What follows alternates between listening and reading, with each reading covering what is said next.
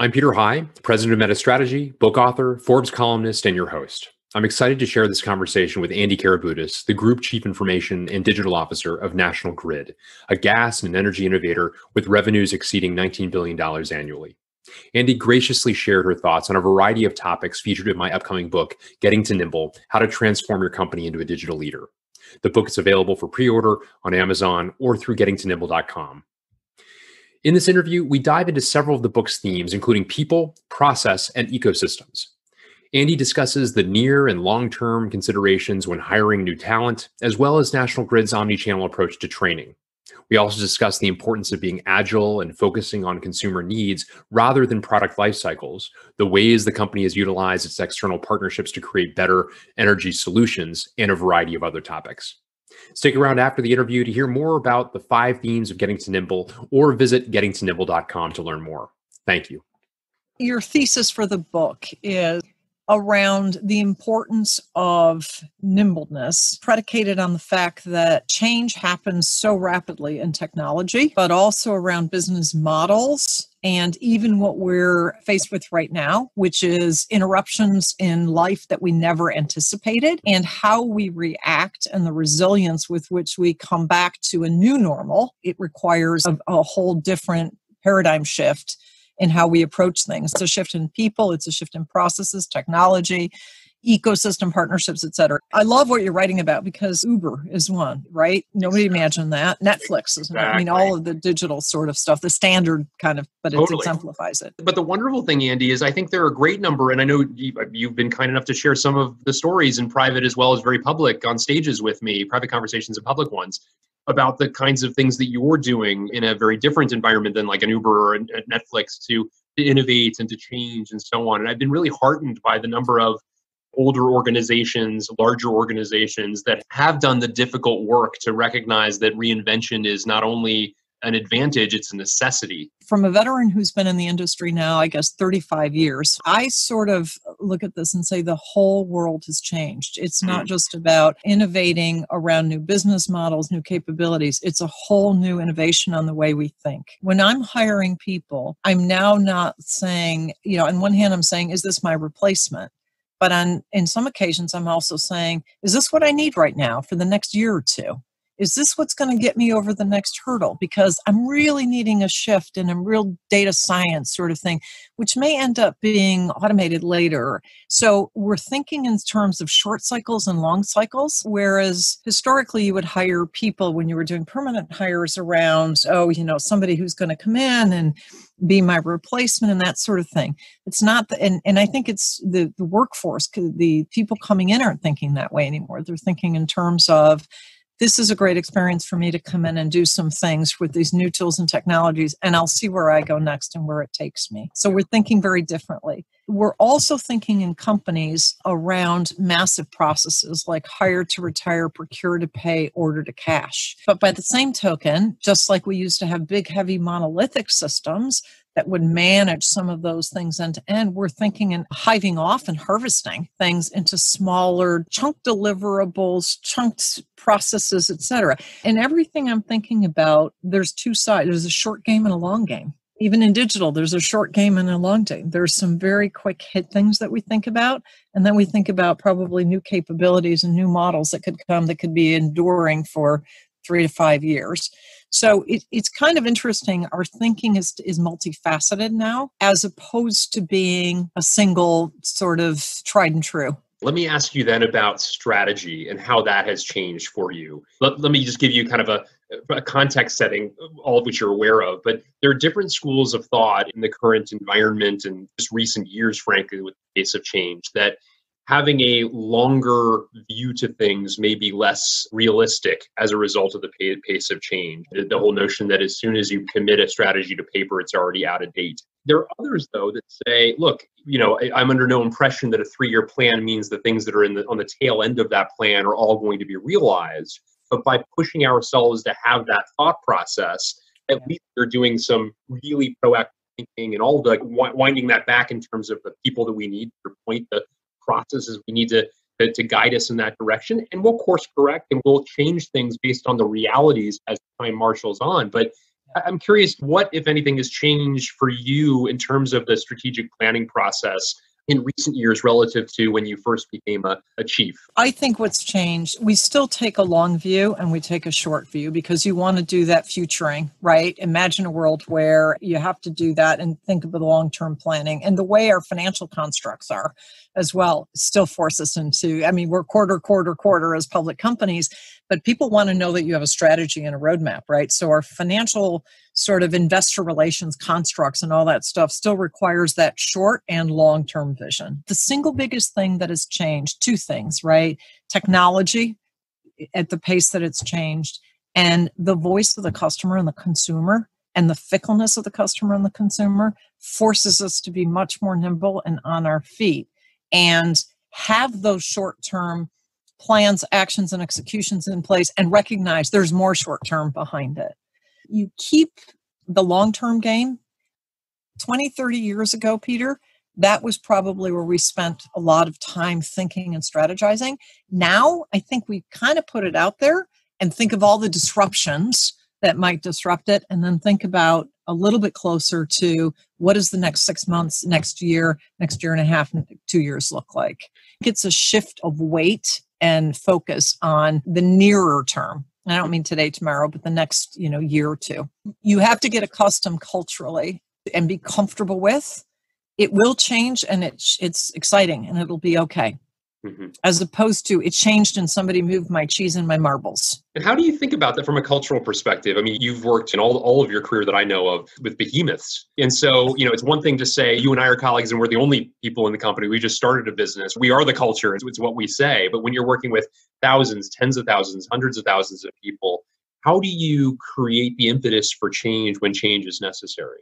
First of all, you look around and you realize that the behemoths that don't change are not sticking around for very long. So there is a burning platform that says you can try to hang on to it, but then you start saying, what are the characteristics that we need in order to not be the behemoths that don't reinvent themselves? You actually have to build that muscle, and it takes that muscle because things will disrupt you, and you have to be able to bounce back and be able to bounce with the change. When I say bounce back, it's to a new normal kind of thing.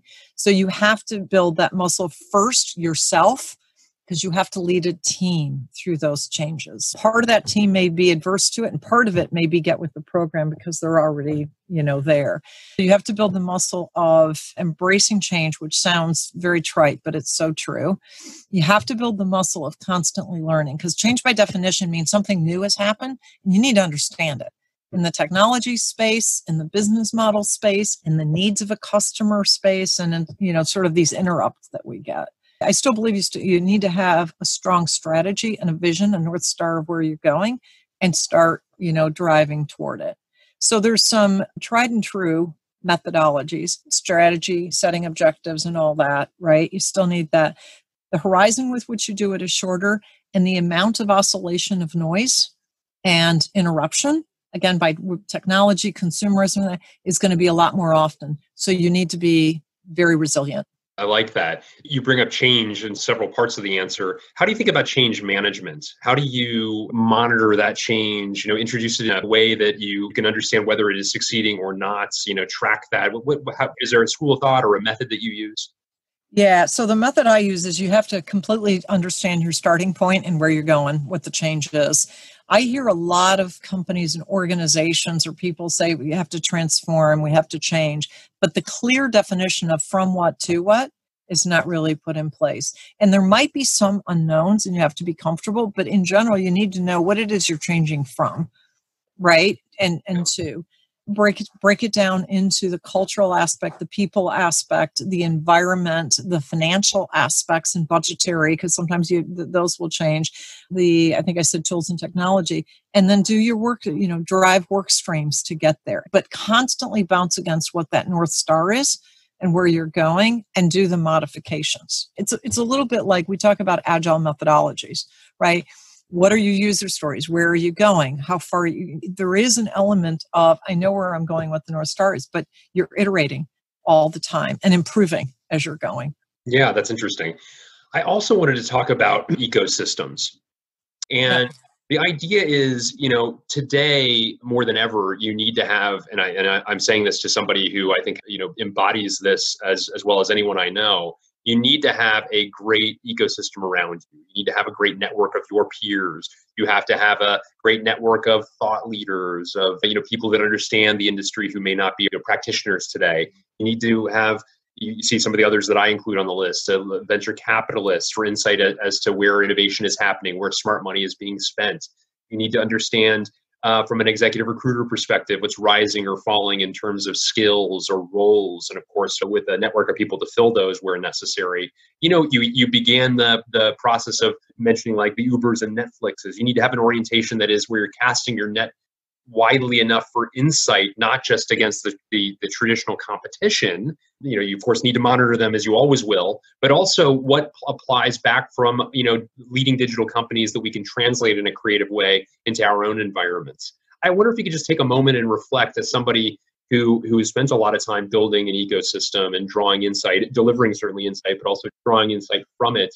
Um, if you can reflect about, you know, sort of the value of that yourself.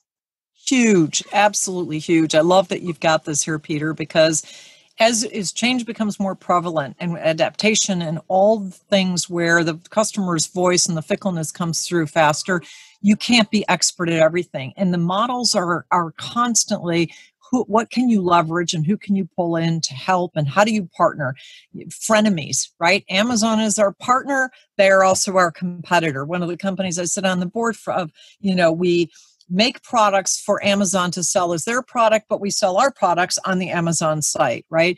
So you're going to see much more of that.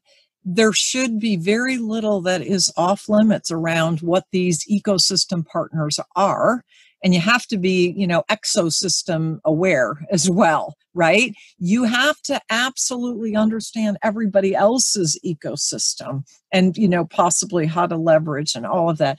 But venture capital, these constructs now, which have emerged now, there's there's different plays you can you can create to actually be able to achieve you know some of the businesses models successes you know implementations understanding every you know what people do what they expect what they want to win with because everybody wants to win at something right? And how do those fit together as puzzle pieces to make a big win or a win win, hugely important. If you think about small areas of expertise that you can pull together to do a big transformation or win or change, it would be much faster than trying to build it yourself or with what we used to call traditional business partners, mm. business relationships and partnerships. Yeah, that's it's really interesting.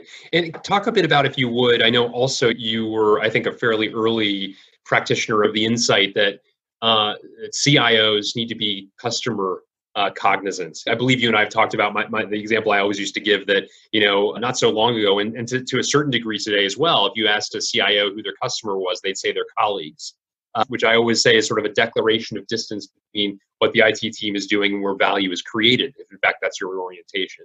Um, yeah. And so, talk a bit about the way in which you think about customer engagement as a source of insight and you know innovation ultimately. Yeah, absolutely. So, look, it starts with the customer, the consumer. It starts outside in completely.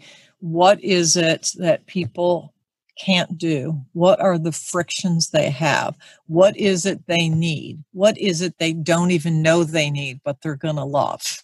Right? And when you start there and you move back in, that's where you really can develop a how do I get this out there quickly? And how do I meet those needs or desires they don't know that people even have? You know, we used to say in the auto industry, design for manufacturing and design for lean. Efficient, effective, and operational excellence are things that you continue to strive for, but you don't win until you meet a need externally, right, with the customer and the consumer. If a CIO is missing that, especially in this day and age, Peter, not going to be successful. Fall out of love with the technology, fall in love with the idea of what the technology can do for customers or how they can build customers. I mean, that's what the name of the game is now. Yeah. And so I think that's really critical. What are some of the ways in which you've engaged? I know that you've in different environments. Uh, you've been in the auto industry, you've been in the high technology industry, you've been in in, in pharmaceuticals, biotech. You've been uh, you're now in the energy space. So very different businesses. Are there common threads in terms of how you engage with customers? I'm, I'm of course like the, the, the topic you're discussing is very different in each of those cases. But curious, to, you know, how you, you what what methods you've used that that work particularly well for customer engagement. Yeah, so very different industries, very different approach, very different appetite for uh, either innovation or change, et cetera. And some of it based on regulators and and you know the the product development life cycle. I always look at what's the product development life cycle of a company, right? So when you think of the drug industry, such an innovative industry, 15 years though right? You think of a car company, 24 to 36 months, probably closer to 18 to 24 now. You think about a utility and it's all real time and, and what, you know, how you can deliver energy and balancing energy and things like that. I used to think that the product development life cycle sets the takt time for the company and how nimble and how fast. And to some degree, it's always been true, right? But the customer and consumer needs is the real takt time and how quickly they change. And that's what's changed for me. I used to look internally at the customer at the at the company takt time set by the product development takt time. But what is true today is it's the customer that is setting the takt time, right? Whether it's the same drug repackaged to appeal to people in a different way. Whether it is people now don't just want their energy, they want to understand where it came from and what the carbon footprint was and, you know, what their usage has been throughout the neighborhood. Whether the, the vehicle isn't around design for manufacturing anymore, it's around tell me where it is, tell me if I can get it the way I want it, and tell me if I can pick it up where I want to pick it up. So it become the same business has become very different because of that customer focus. That is the constant throughout. It's the customer that has set the need for nimble and the need for you know driving a nimble organization internally. And the companies that ignore that i'm afraid are the companies that aren't going to survive. Yeah. No it's a great great points.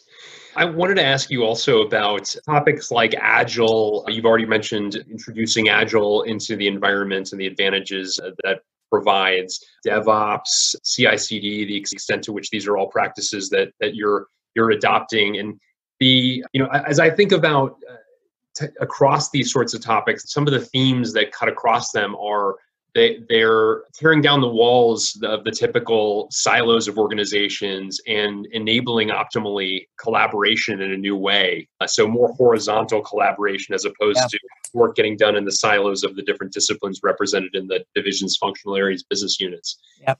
anyway I, i'd love to understand like how do you think about the use of those how do you think i'm also curious how religious you are in any of those topics versus like uh, they, they, you know agile or devops appropriate in some places but not others and so yeah. finding kind of what it is and what it isn't what are some of your thoughts so as far as i'm concerned you know you can pick a methodology for development which you say well we got some things that waterfall is better uh, you'll always find those corner cases where you could find an exception so saying always probably wouldn't be in my vocabulary Having a company that is agile, though, is absolutely necessary. And what do I mean by that?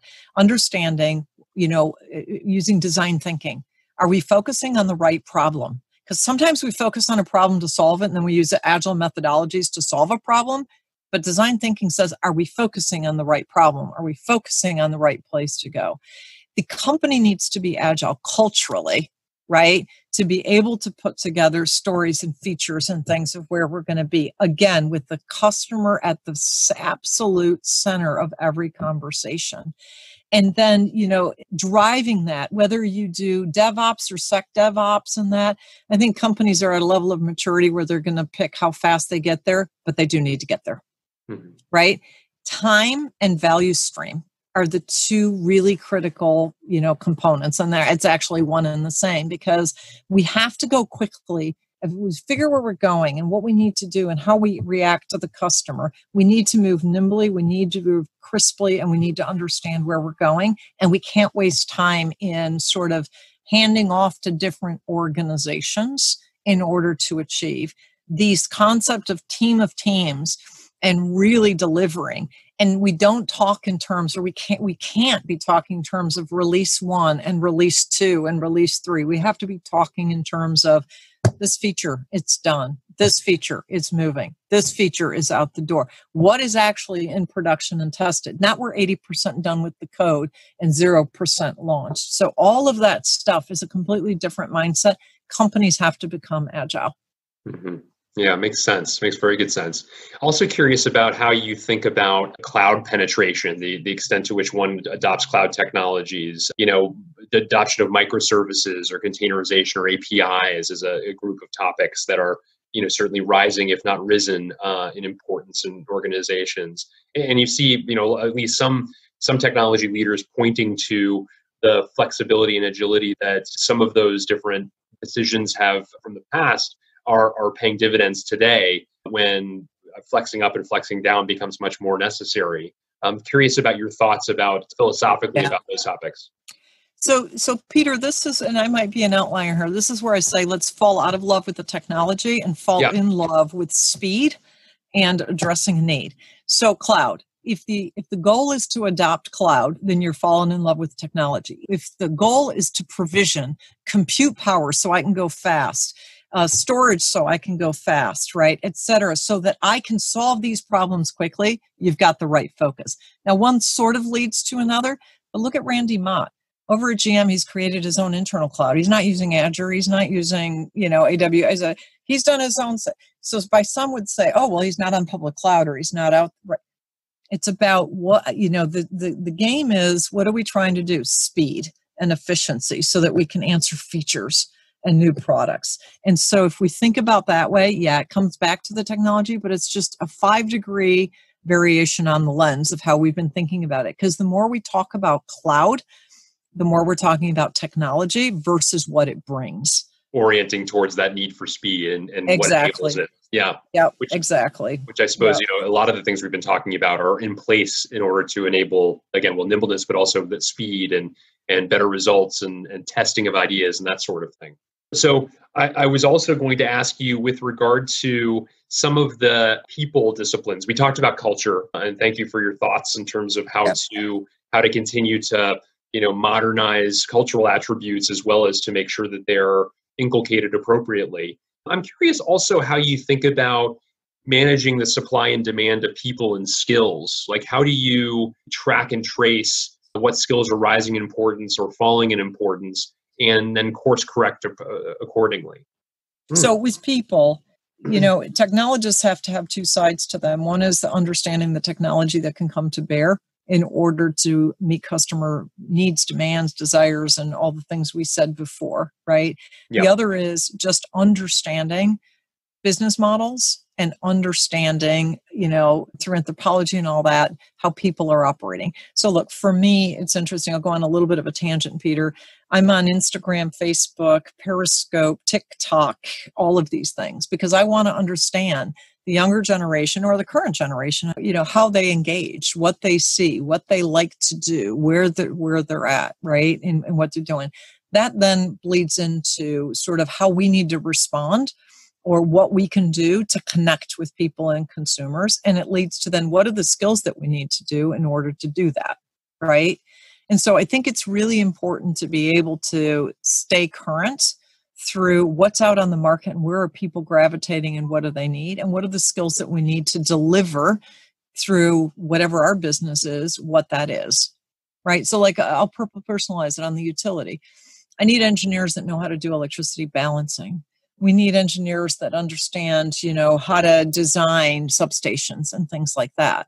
But if those same engineers and software people don't understand how people like to receive energy and what they need to know they won't provide areas where we can provide transparency and touch points to where people are interested to know did my energy just come from coal gas solar etc if those engineers don't understand that those people care about it we'll be building traditional things with no peepholes in and so it's understanding the world at large and what you know where, where people are gravitating to in our area that becomes really important I think, uh, you know, one of the areas that you've covered very nicely is, which is another topic I wanted to talk to you about, is sources of innovation. As you're talking, uh, I'm, I'm hearing you talk about as I think I may have referenced earlier, casting your net really widely. TikTok is not will never be a direct competitor of yours. It's, no. not the, it's not in the energy business. You're not going to, you know, find the, you know, the central product for National Grid by virtue of drawing inspiration from it.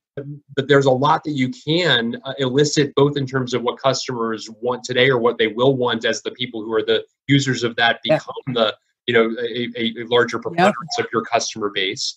But That's also right. this kind of creative translation from the kind of unusual comparisons as opposed to as i say the direct competitors where, where it might be a bit more you know direct to see what you know what you're doing and what they are doing and how those relate drawing inferences back into your own portfolio from what you're seeing in other successful digital organizations seems to me to be a really great you know, source of inspiration and innovation as well.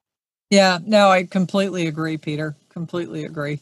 And you know it goes back your sources of innovation. It goes back to your other question about ecosystem as well. An hour ago, I was on the phone with one of my former colleagues from Biogen who, you know, became the CEO of a spinoff company, sold it, and is now doing some computational informatics, bioinformatics. Calls me up and he says, Who can you connect me with? So that I can, you know, I want to do some computational biology and some of those stuff. Yeah, that's so interesting.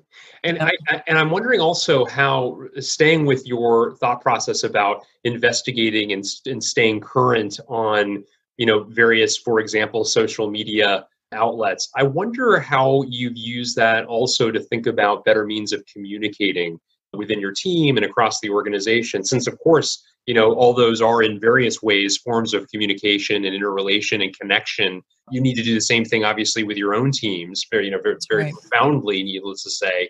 Are you do you find that as you are using these different you know forums and formats that it's also drawing inference back to you as to the best way to communicate really critical information across your team? Absolutely. Absolutely. Great observation peter that it, it absolutely is because whether we like it or not, and people can talk about a world where we have to slow down and smell the roses, and I believe in all of that as well. When we are trying to get work done and when we're trying to do things, ingesting things quickly and communicating quickly is so important. And, you know, if I can write, I'm having a nice day versus put a smiley emoji out there and communicate the same thing, we'll, we'll do the emoji, right? It's sad in some ways, but we'll do that. If people can see a do not turn sign, right, and they intuitively understand it, it becomes a global sign as well. You're now crossing the barriers of, of languages and generations, right? And if you look back at the social media, you know, the Twitter, you got really good at 140 and then you got a few more after that, right? But you all of a sudden it starts going that quickly and that's how you want more intuitive and because people want that level of simplicity in their life and intuitiveness, I would say. And that goes hand in hand with nimble. Yeah, exactly. Right? Exactly. It goes hand in hand. If I can write code, by the way, that self documents, whoo, I'm thrilled. Mm-hmm. Right? Makes sense. Makes sense. Exactly. I wanted to also ask you about, you know, data is the coin of the realm and having, you know, having access to it, being able to synthesize it appropriately, putting it into the hands in a form fully synthesized or as well synthesized as possible for people to make better and faster decisions all critically important in this day and age. And in some ways you know one of the factors that, that separates leaders from laggards. I'm curious if you you know as you think about kind of a evolving data strategy you know are there steps that come to mind that you enact are there you know any nuances to how you thought about because because on the, of course the flip side is there is data everywhere and it's not you know, the sources are ever increasing and and so you know our, our means of both getting it and synthesizing it need to kind of keep up with the uh, enormous amount of noise in order to find the signal and you know uh, uh in yeah. that noise so anyway any thoughts there yeah self-service. Hmm. Peter, pure and simple. So I could talk to you about cataloging data, cleansing data, ETLs, warehouses, and all that stuff. But again, I'm taking the customer perspective first. People want to have information to hand to make decisions, whether it's on the job, they want to understand their departments, their efficiency, their effectiveness, their numbers, their P&L, all of that stuff. Data for me is around we finally have to get really good at those foundational things to go into the nimble world of end users, whether it's employees, customers, consumers, want data and they need it in a visualization method that works for them, right? So the needing somebody to give you reports, needing somebody to even pull together, you know, a Tableau dashboard for you. We need to get to the point where I want to know this and I'd like to see it like this needs to be at everyone's fingertips. That's the new nimble world. Yeah. And sort of the I have the data, I can do the reports and all that. And I think companies are coming a long way. But for me, the final thing is data and information needs to be self serve and it needs to be visualized in the way that I want it on my terms. Mm-hmm. Yeah, that's interesting. And and the the the precursors to making that happen. What what have you what have you instituted or implemented in order to facilitate that? Okay, so master data has never gone out of style, right? Employee master, customer master, product master, vendor master, all of these things. That's one.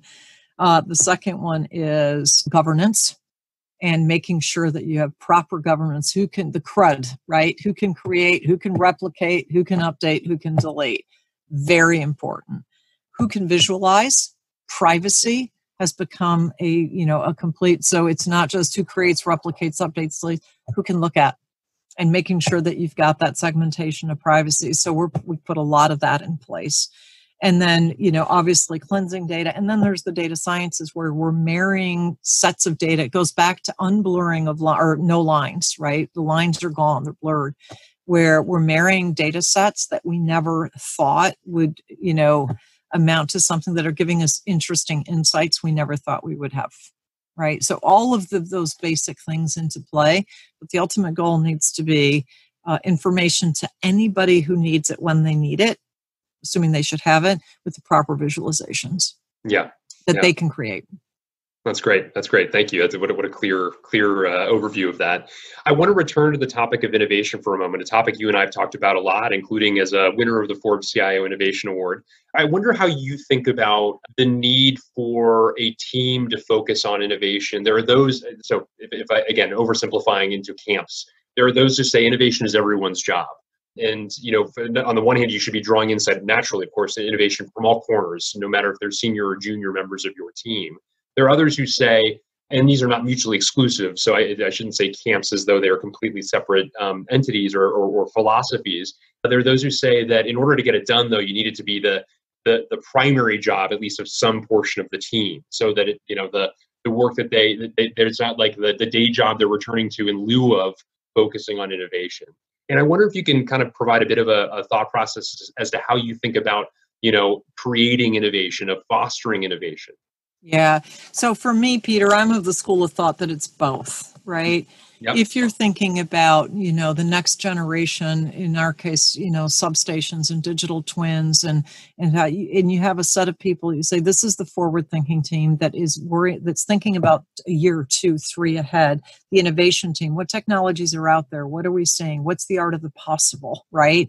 I think that you do need some dedicated teams that do that, and they do futuring. Imagine a world where you know i never ever have a forest fire again because of vegetation management problems right? What would that entail right? And so you need those things but you also need to instill in the culture of the company that we want to be innovative and you should innovate you know your your day-to-day job whether it's to go through rpa and automate whether it's to all those things are innovations. So you can have small innovations around efficiency. You can have innovations around effectiveness what we should be working on. You could have innovations around the future of the company. We're going to disrupt ourselves. And so you need it in the uh, dna of everyone if you want to you know to, to really drive a company to progress. But you also need specifically to say they're innovating the future of our industry or our company mm-hmm. right? And by the way some of the you know individuals that are working here could end up with a major breakthrough there. And that's why it's a continuum. It's yeah. a complete continuum. As you as you think about managing great people on your team and that continuum how do you think about like rotations and people going from uh, one part of the organization to another? And, and for context if you don't mind I, I always love saying this especially you and i've had this conversation but especially for those who've been in the auto industry which for an industry that has been down and out and and and and to the to the passive observer may, might not seem you know to, may seem to be a I don't know, a ho hum industry, it has produced an outside, an extraordinary amount of, of talent, present company included. And you know what I've come to learn, again, you'll you'll correct me, of course, from your own perspective as somebody who's lived this, is it's an industry that, that builds that key. You have a discipline in which you are expert and you are deep, but you you only can get so far if you don't go abroad somewhere and learn about the business yep. in Europe or you know you learn learn how revenue is created and value is created and in some other you know discipline before you come back and then rise rise more fully so it's an industry it strikes me uh, that has produced people of unusual insight because they're not just siloed in that one area they grew up in they understand the blinders are off and they understand right. how this business really works which i would i would think and this is for you to validate for me would then create an orientation of, of look, if there's somebody special on my team, I want to send them away for a year or give them a quote unquote semester abroad in some other discipline to fill out their insight and their skills. Is that a fair synopsis? Absolutely, absolutely, and, and and more true now than ever, Peter. Since people, we can't, you can't just be specialty in one. To think about the customer, you have to think 360 degrees. To watch who's disrupting and you know coming into your industry. I mean, who would have ever thought Bill Gates wanted to come into the energy industry, right? Or Google wanted to go into the healthcare industry, right? You need those broad perspectives and experiences, and it's more true than ever. And I love that you said about the auto industry because you know, I will always hold a debt of gratitude to the auto industry. You know, Ford sent me to Europe. They sent me to material planning and logistics. They sent me to manufacturing and procurement. And they had that long term plan and sort of, which I think has gave a, a springboard to a lot of us. So it's fantastic. And that needs to continue and you need to provide short-term training. We just bought plural. Everybody's off, you know, with COVID. We just bought Pluralsight and said, "Go, go train, go learn Python, go learn." Right, and we have curriculum and we're letting people but we're also now moving people across departments and we're we're talking in terms of buybacks right? Is there a like you, go do that and then you come back. But if you don't want to come back that's fine because you're you know you you'll be a well-rounded individual over in engineering from software engineering.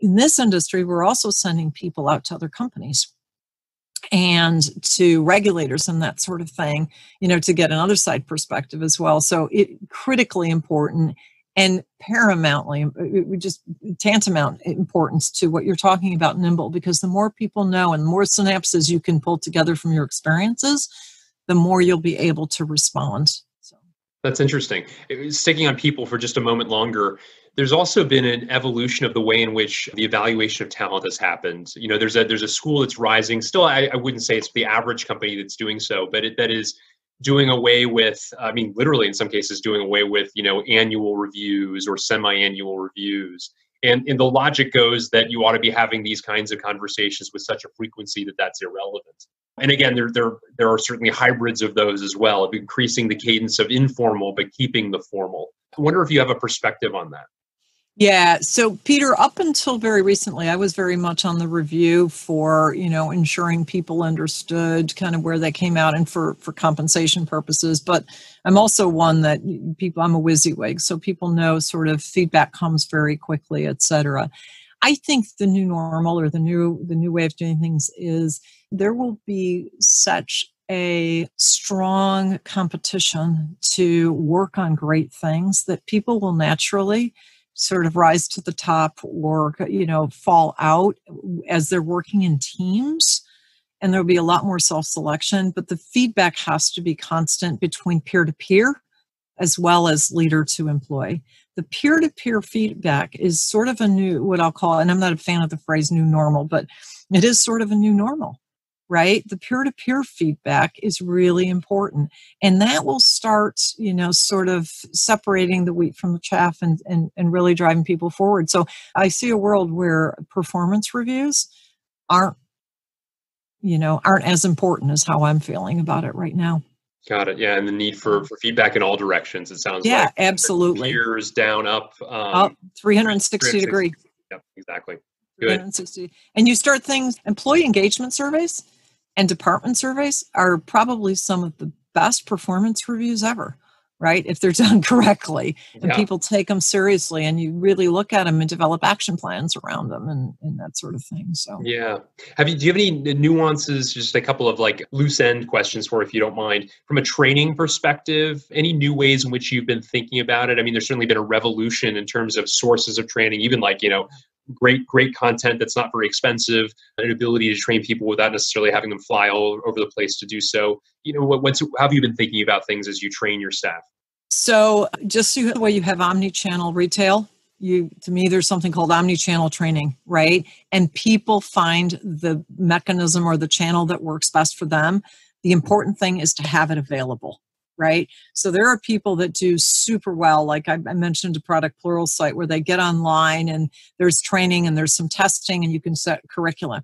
There's TED Talks, right? There is, I'm just going to sit, eh, there's edX between, you know, UC Berkeley and Harvard and I don't, I don't know which other organization, but, eh, you know, a uh, consortium of universities.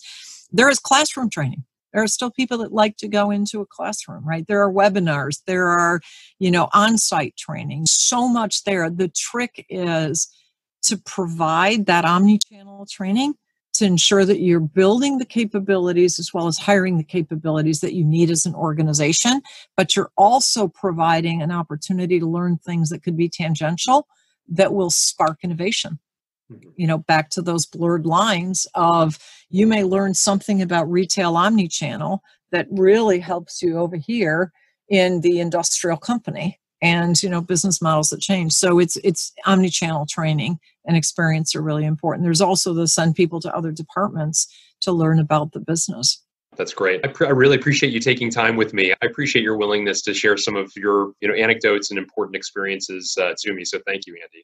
Well i'm honored peter i really really appreciate it as well This interview featured insights that you'll find in my upcoming book, Getting to Nimble How to Transform Your Company into a Digital Leader. In an era of unprecedented technology, progress, and disruption, it's imperative that companies transform themselves to keep up with their digitally native competitors. In Getting to Nimble, I explore how companies including Capital One, FedEx, CarMax, Domino's Pizza, The Washington Post, Walmart, and others have modernized their practices related to people, processes, technology, ecosystems, and strategy. And I provide a framework for companies looking to do the same. To learn more, visit gettingtonimble.com.